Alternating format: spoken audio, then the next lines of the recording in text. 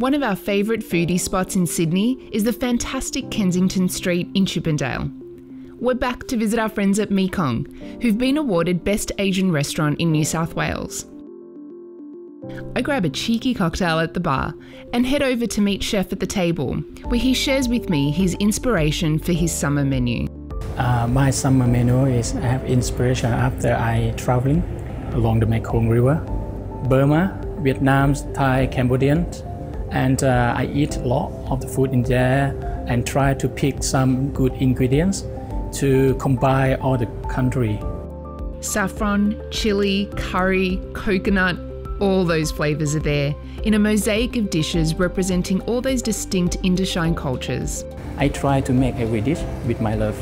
Love with my country, love with my cuisine, my career, everything is perfect with love, believe me. The food is not come from this, come from here. And that love sure came through in every spoonful. We'll definitely be back to sample more of Mekong's award winning creations. Take your own trip down the Mekong at level 2, 14 Kensington Street, Chippendale.